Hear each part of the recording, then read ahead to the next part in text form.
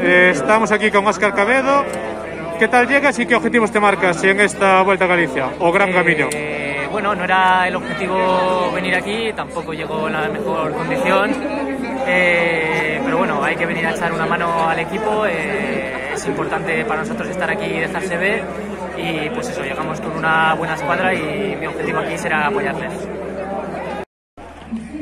Estamos aquí con Eduardo Sepúlveda. ¿Qué tal se encuentra usted para esta carrera? Bueno, bien. Eh, primera vez en Galicia y bueno, eh, a comienzo de temporada siempre motivado, así que esperamos hacerlo bien junto al equipo. ¿Y qué objetivo se marca? ¿Tiene alguna etapa en mente?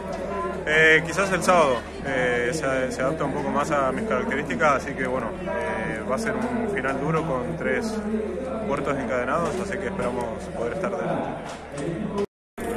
Estamos aquí con Gonzalo Serrano. ¿Qué tal te encuentras? Bueno, bien, venimos de Andalucía con buenas sensaciones, buen ritmo.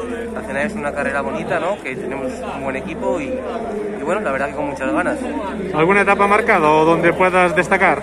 Bueno, hoy parece que va a ser una etapa más para los velocistas puros, para el sprint. Eh, veremos. Al final las dos siguientes etapas son etapas muy duras. Tenemos buen equipo, o sea que bueno, yo creo que todos podemos estar ahí y pelearemos por, por la general de la vuelta con el equipo. Estamos aquí con Samuel Blanco. ¿Cómo te encuentras para esta, o para esta Vuelta a Galicia o Gran Camino? Bueno, eh, llego en las condiciones, las mejores condiciones que, que puedo dentro de, de, los objetivos que tenemos marcados por el equipo.